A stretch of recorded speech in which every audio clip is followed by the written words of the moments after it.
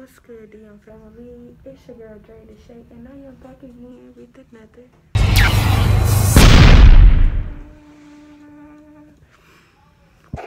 What's up, y'all? It's early in the morning. It is currently, let's see. So I was gonna start my vlog when I first wake up, when I first woke up. And I was gonna show me brushing my teeth. And you know me doing like my morning routine while you know what, what I would normally do when I would get ready for my appointment. But I woke up late. I've been very tired lately. So I was like I'm just gonna start the video once I get to the doctor. Um, I didn't really do nothing to my hair. I just did my edges a little bit and I just slicked my hair to the back.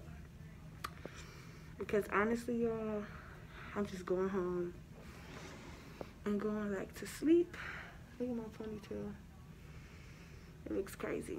But make sure y'all like, comment, and subscribe. Y'all turn that post notification button. Go follow us on our social medias. It'll be right here on the screen for y'all. Y'all already know. Go check it out. Y'all know. Look at my baby. so yeah, y'all can see how big he has gotten.